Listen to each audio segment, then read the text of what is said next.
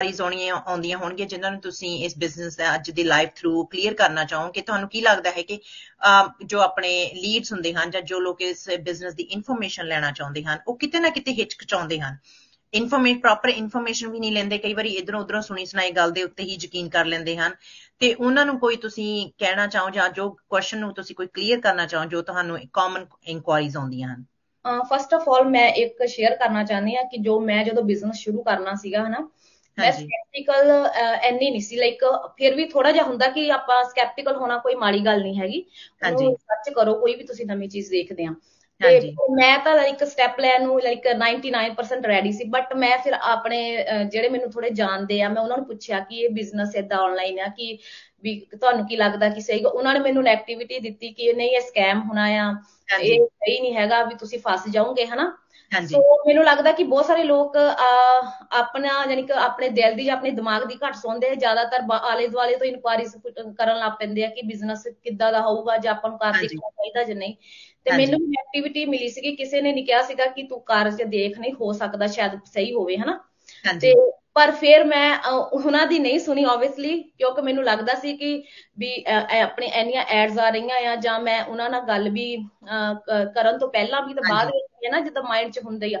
ਪਰ ਮੈਂ ਆਪਣੇ ਦਿਲ ਤੇ ਦਿਮਾਗ ਦੀ ਸੁਣੀ ਤੇ ਮੈਂ ਆਪਣਾ ਨੈਕਸਟ ਸਟੈਪ ਆਪਣੇ ਕੰਫਰਟ ਜ਼ੋਨ 'ਚੋਂ ਬਾਹਰ ਨਿਕਲ ਕੇ ਲਿਆ ਤੇ ਹੁਣ ਮੈਂ ਬਿਜ਼ਨਸ ਕਰ ਰਹੀ ਹਾਂ। ਤੇ ਬਸ ਮੈਂ ਐਨੀ ਉਹ ਵੀ ਹੈ ਨਹੀਂ ਸੀ ਸੋਸ਼ਲ ਮੀਡੀਆ ਪਰਸਨ ਵੀ ਨਹੀਂ ਸੀਗੀ ਕਿ ਮੈਂ ਬਹੁਤ ਜ਼ਿਆਦਾ ਐਕਟਿਵ ਸੀਗੀ ਹਨਾ? ਤੇ ਆਪਾਂ ਹੁਣ ਦੇਖੋ ਕੈਮ ਆਪਾਂ ਲਾਈਵ ਬੈਠੇ ਆ ਆਪਾਂ ਆਪਾਂ ਗੱਲਾਂ ਕਰ ਰਹੇ ਆ ਨਾ ਇਹ ਇਦਾਂ ਦਾ ਨਹੀਂ ਸੀ ਇਹ ਚੀਜ਼ਾਂ ਪਹਿਲਾਂ ਬਟ ਇਸ ਬਿਜ਼ਨਸ ਚ ਆਉਣ ਤੋਂ ਬਾਅਦ ਬਹੁਤ ਯਾਨੀ ਕਿ ਆਪਾਂ ਤੁਹਾਡੀ ਪਰਸਨਲ ਗਰੋਥ ਹੁੰਦੀ ਹੈ ਹਾਂਜੀ। ਕਾਫੀ ਚੇਂਜਸ ਆਉਂਦੀਆਂ ਨੇ ਤੁਹਾਡੇ ਯਾ ਸੋ ਮੈਂ ਇਹੀ ਕਹਿਣਾ ਚਾਹੁੰਦੀ ਹਾਂ ਕਿ ਅਗਰ ਤੁਸੀਂ ਆਲਰੇਡੀ ਆਪਣੀ ਈਮੇਲਸ ਦਿੱਤੀ ਹੋਈ ਹੈ ਜਿਨ੍ਹਾਂ ਨੂੰ ਵੀ ਦਿੱਤੀ ਹੋਈ ਹੈ ਤੇ ਤੁਸੀਂ ਆਪਣਾ ਨੈਕਸਟ ਸਟੈਪ ਲਓ। ਆਈ نو ਤੁਸੀਂ ਇਨਕੁਆਰੀਜ਼ ਕਰਨੀ ਕਰਨੀ ਜ਼ਰੂਰੀ ਆ। ਰਿਸਰਚ ਕਰੋ। ਤੁਸੀਂ ਉਹਨਾਂ ਨੂੰ ਪੁੱਛੋ। ਅਗਰ ਤੁਸੀਂ ਆਲੇ ਦੁਆਲੇ ਤੋਂ ਪੁੱਛ ਪੁੱਛ ਸਕਦੇ ਆ ਬਟ ਉਹਨਾਂ ਨੂੰ ਨਹੀਂ ਪਤਾ ਇਹ ਬਿਜ਼ਨਸ ਕੀ ਆ ਹਨਾ? ਕੀ ਕਰ ਰਹੇ? ਜਿਹੜੇ ਇਸ ਨੂੰ ਕਰ ਰਹੇ ਉਹਨਾਂ ਨੂੰ ਹੀ ਪਤਾ ਹੈ ਕਿ ਇਸ ਬਿਜ਼ਨਸ ਦੀ ਪੋਟੈਂਸ਼ੀਅਲ ਕਿੰਨੀ ਆ। ਤੇ ਇਹ ਚੇਂਜਸ ਕਰ ਸਕਦੇ ਤੁਹਾਡੀ ਲਾਈਫ 'ਚ। ਹਾਂਜੀ। ਆਫ ਕੋਰਸ ਯਾ ਇਨਕੁਆਰੀਜ਼ ਇਹ ਵੀ ਹੈਗੀਆਂ ਕਿ ਤੁਸੀਂ ਕਿੱਥੇ ਲੋਕੇਟਡ ਆ ਇਹ ਆਨਲਾਈਨ ਆ ਇਹ ਵਰਲਡ ਵਾਈਡ ਆ ਇਹ ਕੋਈ ਇੱਕ ਜਗ੍ਹਾ ਜਾਂ ਇੱਕ ਕੰਟਰੀ ਤੱਕ ਨਹੀਂ ਹੈਗਾ। ਹਾਂਜੀ। ਗਲੋਬਲੀ ਬਿਜ਼ਨਸ ਨੂੰ ਲੋਕੀ ਇਸ ਨੂੰ ਚਲਾ ਰਹੇ ਆ। ਹਾਂਜੀ। ਹਾਂਜੀ।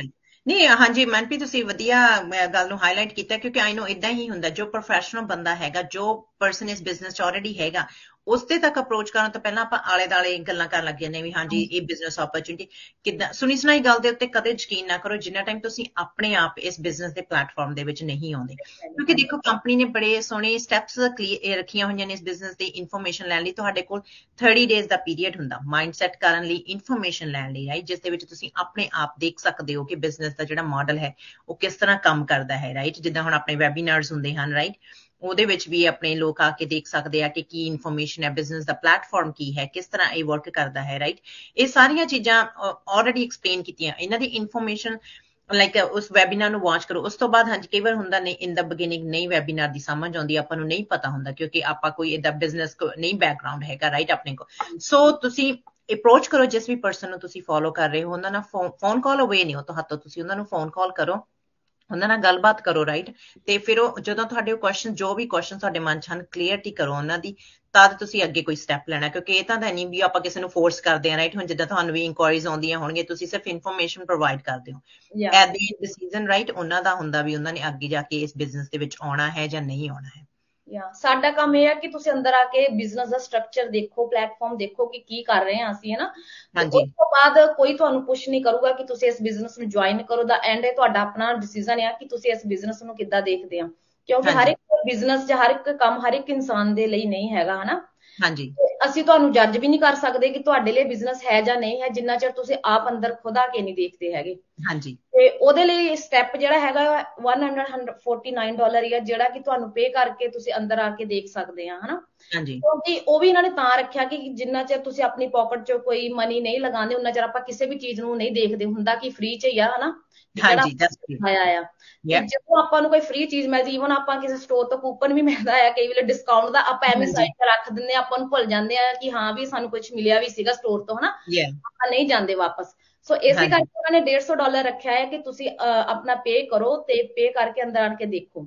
ਹਾਂਜੀ। ਬਹੁਤ ਹੀ ਯਾਨੀ ਕਿ ਪੇ ਕਰਨ ਦਾ ਵੀ ਯਾਨੀ ਕਿ ਪੇਪਾਲ ਦੇ ਥਰੂ ਤੁਸੀਂ ਸਿਕਿਉਰਡ ਮੈਥਡ ਹੈਗਾ ਤੁਸੀਂ ਉਹਦੇ ਥਰੂ ਪੇ ਕਰ ਸਕਦੇ ਆ। ਜ਼ਰੂਰੀ ਨਹੀਂ ਹੈਗਾ ਤੁਹਾਡੀ ਇਨਫੋਰਮੇਸ਼ਨ ਵੀ ਕੋਈ ਵੀ ਇਧਰ ਮਿਸਯੂਜ਼ ਨਹੀਂ ਹੁੰਦੀ ਹੈਗੀ ਕਿਉਂਕਿ ਅਸੀਂ ਆਲਰੇਡੀ ਇਹਨਾਂ ਸਟੈਪਸ ਤੋਂ ਲੰਘ ਚੁੱਕੇ ਹਾਂ ਇਸੇ ਕਰਕੇ ਅਸੀਂ ਤੁਹਾਨੂੰ ਕਹਿ ਰਹੇ ਹਾਂ ਕਿ ਤੁਸੀਂ ਆਪਣਾ ਸਟੈਪ ਲਓ ਪੇ ਕਰੋ 150 ਡਾਲਰ ਤੇ ਆਪਣਾ ਅੰਦਰ ਆਣ ਕੇ ਦੇਖੋ। ਹਾਂਜੀ।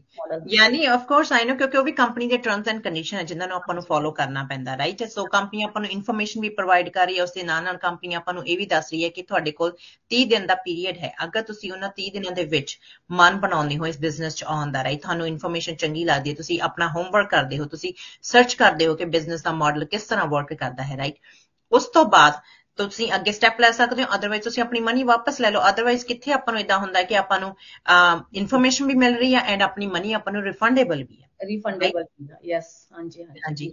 ਸੋ ਇਹ ਇਹ ਚੀਜ਼ਾਂ ਹੈਗੀਆਂ ਇਸ ਬਿਜ਼ਨਸ ਦੇ ਵਿੱਚ ਕਿਉਂਕਿ ਦੇਖੋ ਅਸੀਂ ਸਿਰਫ ਤੁਹਾਨੂੰ ਕੁਐਸਚਨਸ ਨੇ ਇਨਕੁਆਰੀਜ਼ ਨੇ ਉਹਨਾਂ ਨੂੰ ਕਲੀਅਰ ਕਰ ਸਕਦੇ ਹਾਂ ਤੁਹਾਨੂੰ ਇਨਫੋਰਮੇਸ਼ਨ ਪ੍ਰੋਵਾਈਡ ਕਰ ਸਕਦੇ ਹਾਂ ਕਿਉਂਕਿ ਅਸੀਂ